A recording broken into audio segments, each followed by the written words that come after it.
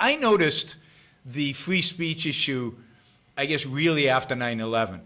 And I noticed it really on, uh, uh, on two sides of it.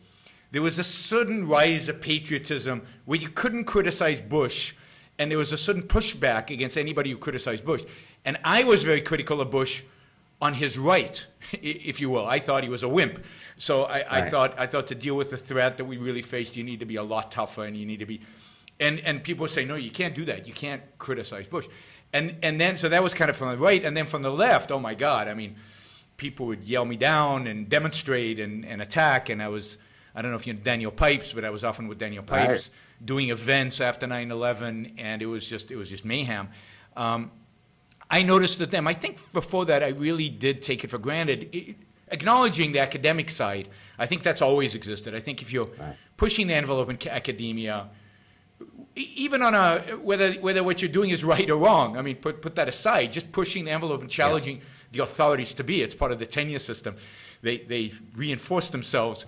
Um, it's it's it's it's always there. But on the culture, it was 9/11 really struck me as as this real change in the culture. Yeah, I, mean, I think I probably agree with that because, uh, you know, there are different consequences to trying to restrict someone's open and honest dialogue about an issue. Yeah. And I suppose there is no greater, you know, important issue on a civilizational, you know, scale than whether and how we handle the issue of whether you know Islamic doctrines are. Uh, you know, are consistent with our secular liberal democracies and so on. And so, in that sense, I agree with you. Uh, what amazes me is the extent to which, and I've, I've weighed in on this uh, in, in, in other venues, the extent to which my academic colleagues refuse to even engage in a discussion on this topic, even in contexts where no one could know that they're taking these positions. So even if I want to have a private conversation with someone at a conference sitting at a bar, the amount of you know hedging that they engage engages and it shows you i mean if you are this afraid given the current demographic realities do you want me to predict what's going to happen to your fear when it's 10 times where we are today so so i think i agree with you that where the, the, the sort of the issue went on steroids is precisely when islam became so central to our daily lives Why do you think that is? What is it? That, because it's absolutely that. You, you cannot, it's as if they've got a battle going on in their own minds. I'm not supposed to think this. I'm not supposed to say this. I'm not even supposed to hear this. And so you can't even have that conversation one on one with people because they're so afraid of the consequences, I guess. So I think it's two it's twofold. Uh, let's talk about sort of the more banal one. Uh, well, banal, but even more consequential. People are are literally physically afraid. Yes, They're afraid. I mean, right? I always tell people who think that all religions are equal. I say, why don't I set up three different websites for you under your name? And one will be critical of Jainism, one will be critical of Jehovah's Witness, one will be critical of Islam, and we will post your uh, personal address and then let's test your idea. That's a very easy way to empirically test uh, your position. And then, of course, they kind of shut their mouths, right? Yeah. Uh, but I think a second reason that's maybe a bit more difficult to actually penetrate is the fact that people have been parasitized by this notion that it is uniquely gauche and inappropriate to criticize Islam because you know it is a, a religion of the brown person. It is the religion of the downtrodden. Yes. Even though in most places where Islam rules, it's by far the majority. In most of the cultures, it's 98, 99, 100%. So they're hardly the minority in terms of the places where Islam rules. They really rule. But they're still yet- downtrodden in the sense of they're still poor.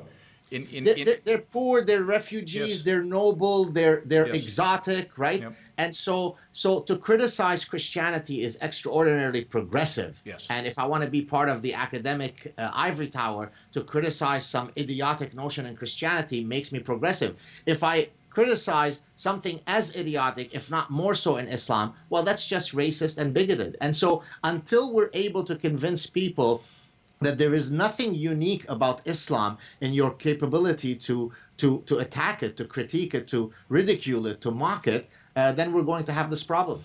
Well, I was at I was giving a talk at Oxford, and this one professor tried to convince me that while while it was okay to criticize the West for slavery, it was wrong to criticize other cultures for slavery. That is, you being a Westerner can only comment on your own culture and it, you you have to just leave other cultures alone. And it, it, it was a woman, and I said, so, so, you're okay with the way women are treated in Saudi Arabia? And she said, I wouldn't be okay with it if I were treated like this here, but I can't comment on, I, I can't have a position because this multiculturalism, it's so insidious. It, it's unbelievable.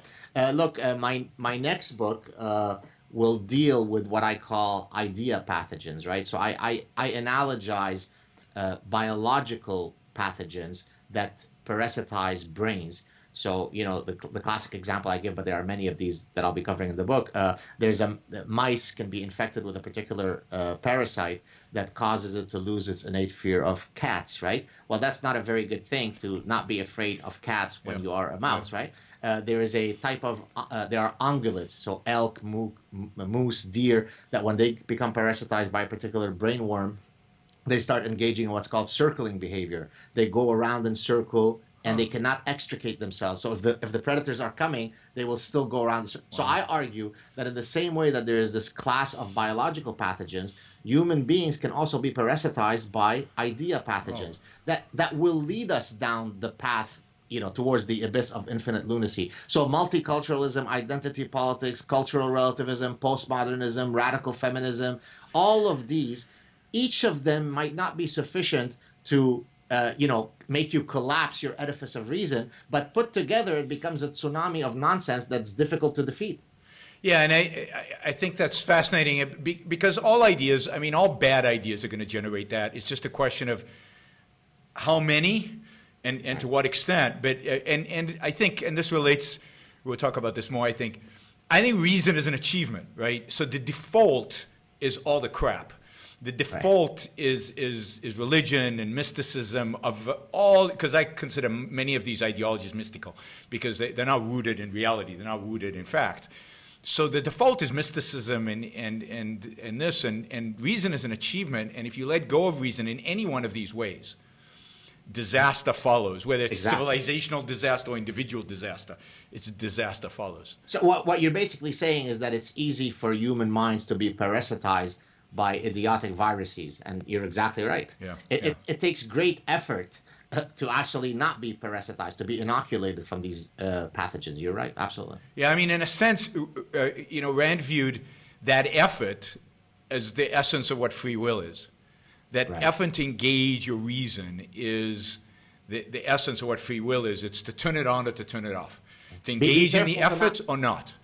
I was going to say, be careful. Never say free will with Sam Harris. You'll get very upset. Oh no, no. I, I, you know, I know. I every one of these members of the intellectual dark web, I have a whole list of things that I disagree with each one of them, and it's, uh, you know, it's interesting. It it makes for lively conversations. Uh, it does. It does. Although, although many of them, many of them are avoiding me, so I, I actually just that. was invited uh, two weeks ago. I was speaking at the Association for Psychological Science conference in San Francisco, and uh, I was delighted to be invited by, I guess, the gentleman who coined the term, Eric uh, Weinstein. Oh yes, yes. That's so he invited me, and he was uh, maybe he doesn't want me to say this, but we were speaking on the phone. He said, "I just want to let you know that it wasn't me who did not include you in that list of."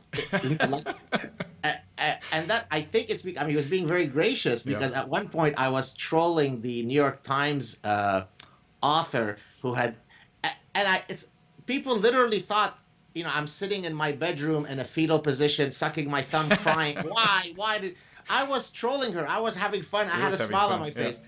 Uh, I said, "Don't worry about it, Eric. I- will I'll learn to love again. It's okay." Yeah, I, I think I'll always be on the margins, but I think you are deeply embedded in the intellectual dark web. So uh, I think it'll be a while before anybody embraces me inside, except Dave.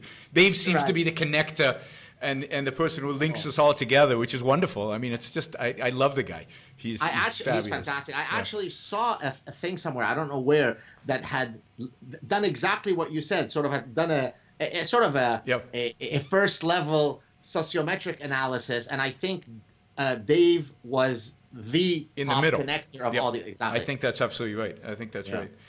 Yeah. Um, so yes, I mean Islam really functions as as one of these, uh, but it's it, it, but it, you know I've always viewed that the the civilizational issue, and I wonder what you think of this, is not Islam, because I think it's pretty pathetic. Um, it's us. right? It's our inability to define and defend Western values, what it is to mean Western values. If we actually had that conception, they would be a little, they would be a pest, a little pest that we could get rid of. It, it's not, you know, they don't really have the weapons or the intellectual firepower, any kind of firepower to threaten us. It's our weakness. hundred percent. That allows Look, us, I, I mean. You, you probably uh, know this quote. Uh, it, it, really, in, in several versions, it comes from several Islamic leaders and thinkers uh, who have said the following. So I'll kind of paraphrase it. Uh, we will not conquer the West militarily. We will conquer the West in three ways through the womb of our women, uh, through hijra, uh, immigration, that's the Arabic word, sure. and through by using your miserable freedoms against you. Yep. They say it loudly. They get yep. on top of the mountain and give you the exact playbook. And you're exactly right that uh, it is it is the weakness of uh, the, the self confidence in your own values that allows this playbook to, to play out, right? And I've often said that I despise the Western weakness yep. a lot more than I do Absolutely. the Islamists. Because at least the Islamists are fighting for a cause. You may not like their cause, yep. but at least they've got the con- uh, they, they act out their convictions, and you have to respect them for that in some you know diluted way. Uh, but the Western castrated coward, he's the worst of the worst. I, I agree completely, and and even those three. So I think they actually hurt their cause when they engage in violence, because it's that violence that wakes up the Westerner at least for five minutes to, to defend himself. But those three, all three, would be combated easily by the West saying, if you by the West assimilating them, and I think we we have a, a powerful philosophy, a powerful ideology that would assimilate them. So it turns out that in America, the Muslims have fewer kids that when they're better assimilated, they have fewer kids, they, they, uh, you know, they, all the three kind of drop away because they become American or they become Canadian or they become whatever. It's because we don't demand assimilation, because we don't know what to assimilate into. Like you ask a European, what is Europe? They don't know. They have no idea. What are Western values? Maybe they think Christianity, but that's their downfall if they think the West is Christianity. Um, it really is the whole Islamic agenda falls apart yeah. If if once the West stands on its two feet. But the problem is that the person who is fully assimilated, it takes a very small committed interaction with the holy books to again, you know, be revert to being problematic, right? Maybe. So so so the question my question and, and of course you don't know who will succumb to that sure, pull and sure, who won't. Sure. Uh, my, my thinking is very simple. Any ideology, it doesn't matter which one, doesn't have to be only Islam that is incongruent with our foundational values, I don't need to tolerate it. No one needs to tolerate it. So, if you wish to come into our cultures and abide by our foundational values without us ceding a single millimeter on any of those values, welcome in, my brother. Let's live together in peace. Yep. If you don't, then there are many, many other cultures, many other places where you can exercise your right to your religion. But your religion never supersedes the right of a third party. It's, it's really not that difficult. Yeah, I, I, I mean, and again, I think if, if Western cultures committed themselves to separation of church and state, committed themselves to a female genital mutilation as a crime, and we will prosecute that crime, committed themselves to actually following the rule of law, then you get that. Then, then if they, they yep. come and they don't belong, they leave, but you don't, you never surrender one iota to them. Exactly. My challenge is that some people would argue we should have a ideological test before they come in to the country. And that worries me to no end because giving the government the power to decide on ideology scares the bejesus out of me. So I, I would rather government never thinks about ideology. We, culturally, enforce it. And, and, and frankly, how difficult would it be for someone who is committed to cause, let's put it charitably, mischief to beat any ideological test, right? I mean, yeah, it doesn't exactly, take exactly. a evil genius to beat. Uh, what do you think of female genital mutilation? Oh, oh I abhor it. Abhor it what yeah. do you think of Jews? I love them. Yes. What do you think of gays? They're my closest friends. Geez, that took a lot of difficulty for me to beat the, the, ideological test, right? So this is why I think all this vetting stuff is complete nonsense. I mean, yes, there is vetting that you make sure that somebody was not an active sure, member sure. of a terrorist group, but to really vet your heart and mind, bullshit. No, I agree. I agree. And, and, and you know, I've been arguing since 9-11, I don't know your position on this, but I've been arguing since 9-11 that all they need, all one, all the West really needs to do is crush them. It's really defeat them, uh, make it clear to them they cannot win. Psychologically, it's very difficult to become a passionate suicide bomber for a cause that you know is lost. Mm. So if we made it clear to them that their cause was lost, that they had no hope of ever achieving it, I, I think the, the, the appetite for the radicalization, for the, for, the, for the suicide bombing would decline dramatically. And more and more of them would want to go with a winner, which is the West. So let me give you a quick anecdote uh, that comes from uh, a saying that the Taliban members uh, use. So they say apparently that the Americans have all the watches but we have all the time in the world, yep. right? Inshallah, right? Yep. So, so, so to speak to your point, I think that the the temporal view of those who are committed to having ultimate peace around the world where we all will be under the flag of Islam. Yep. So you see, Islam is a religion of peace. It seeks oh, peace. Oh, absolutely. we are all under the flag of Islam. How could you say that that's not peaceful, right? Yep. And so so I think the, the, the issue is that the Western mindset is very different in terms of its temporal orientation from uh, sort of the Islamic one, or at least the, the expansionist Islamic one. And again, I hate to preface this. Most uh, yeah, Muslims yeah. don't uh, think like this and are lovely and are kind, and I want my children. So my issue is that the guy sitting on the fence trying to decide, am I going to go the Islamist route or am I go go just be a normal human being? I think he's swayed to go one direction or the other by where he sees more confidence, where he sees more interest, and where he sees victory. So when ISIS was gaining territory, lots of recruits because they were winning.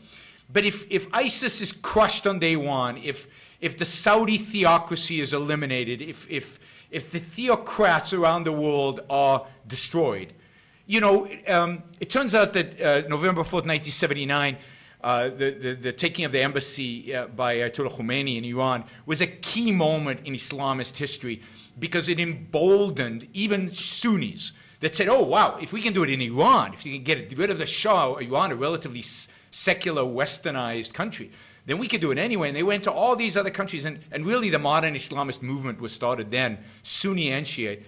And if, if, if, if, you, if you destroy those models for them, then I think, yeah, there are always going to be a few, always, right? Right. But the, the passion, the growth, the, the, the excitement, the energy around it, I think dissipates.